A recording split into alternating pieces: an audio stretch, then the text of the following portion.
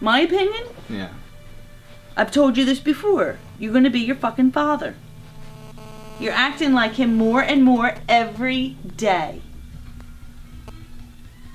You come over here whining and crying and you want your mom's back up. Here, call dad, do this, do this, do this. It's sad. You should be able to stand on your own two feet.